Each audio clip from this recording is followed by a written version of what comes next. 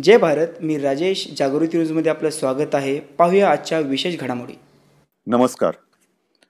भारतीय राज्यघटनेचे शिल्पकार आपल्या सर्वांचं दैवत डॉक्टर बाबासाहेब आंबेडकर यांच्या महापरिनिर्वाण दिनानिमित्त मी त्यांना अभिवादन करतो.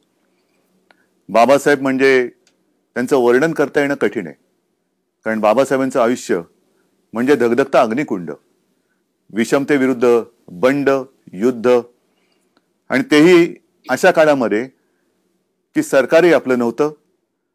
ज्या काही वाईट रूढी परंपरा आपल्या समाजामध्ये चालू होत्या माणसाला माणूस म्हणून ओळख मिळत नव्हती. अशा त्या सर्वसामान्यांसाठी ह्या दैवताने त्या काळात जे काय युद्ध केलं हो मी युद्धच म्हणतो त्यांचा आज स्मृतिदिन. बाबासाहेबांचे विचार आपल्यासमोर कायमचे असावेत. म्हणून आपल्या सरकारतर्फे इंदू मिल येथे बाबासाहेबांचं स्मारक करतोय. हे स्मारक म्हणजे केवळ का नुसता पुतळा किंबोना एक करायचं म्हणून आपण काम करतोय अशातला भाग नाही.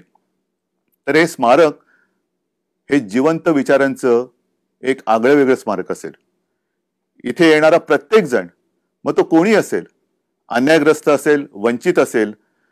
कदाचित आयुष्याची लढाई आपण हरलोय असं वाटणारं कोणी असेल? मी तर म्हणेन आवर्जून त्यांनी तिथे यावं. आणि विषमतेविरुद्ध किंबहुना अन्यायाविरुद्ध लढावं कसं? आणि नुसतं लढायचं नाही तर जिंकायचं कसं? हे त्यांनी तिथून शिकलं पाहिजे असं ते स्मारक असेल.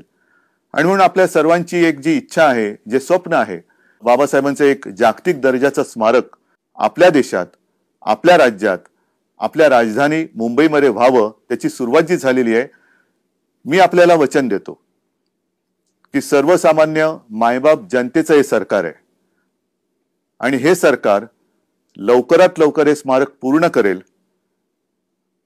आणि हे स्मारक केवळ मुंबईतल्याच नव्हे महाराष्ट्रामधल्याच नव्हे देशातल्याच नव्हे तर संपूर्ण जगभरातल्या जनतेला दिशा देणारं हे एक आगळं वेगळं स्मारक नक्की आपण करू हा मला विश्वास आहे.